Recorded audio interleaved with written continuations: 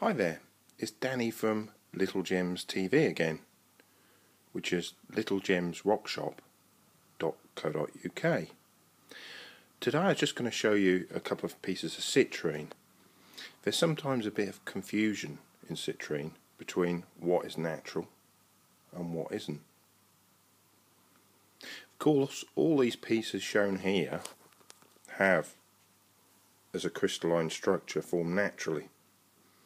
But what's actually happened, some of these pieces, the colour has been changed by man, and some it hasn't. To explain fully, citrine forms when this mineral in my hand here, amethyst, gets heated up. Now this can occur naturally. For instance, if the amethyst when it's first formed is near another volcanic intrusion, the volcanic rocks can heat it up and cook it. So citrine is really cooked amethyst. Now, this occurs quite rarely in nature, and that's why natural citrine, which are these three specimens here to the left, just to the left of my hand, these are all natural citrine. Now you can see they have a kind of quite a strawy colour quite pale compared to, the burnt citrine but it's not always quite so easy to identify it because this is a natural citrine. This is a burnt citrine. As you can see the ones above are actually quite light and strawy too. Natural citrine tends to occur more in points and polished points. As a rough rule and burnt citrine tends to occur more as clusters but large points as well. Now just to give you an idea of the prices of these pieces here this natural citrine point, polished point is £60 which is gorgeous. Don't panic of course if um, if you don't watch this video straight away and these pieces are gone but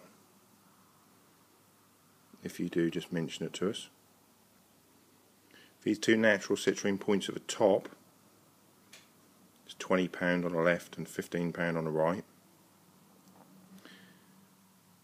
To give you an idea of a burnt citrine pieces, this large point is £19. This cluster which is just fantastic in its clarity and its colour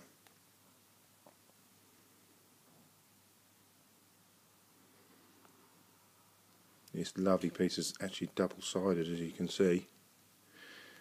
That's £60. On the top this stalactitic citrine.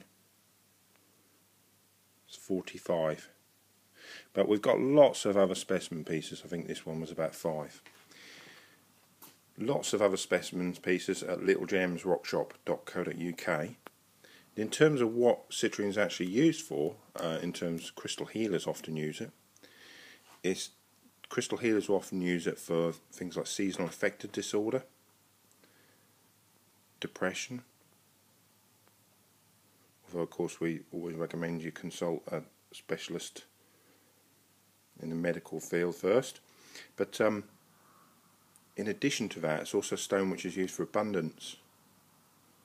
It's always used, been known as a merchant stone um, to help bring prosperity.